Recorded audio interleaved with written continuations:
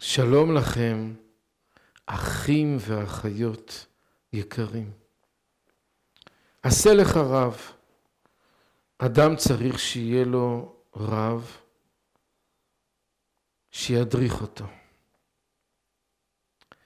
כי לפעמים אדם מרגיש שהוא בירידה,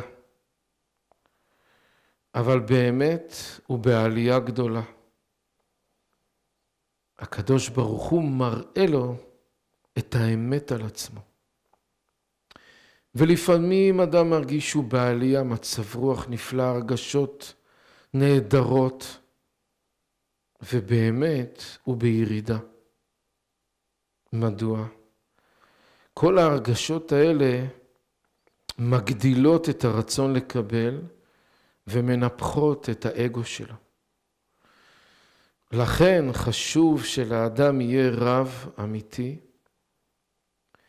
שממקד אותו, מתי הוא בעלייה, מתי הוא בירידה. ומה זה רב אמיתי?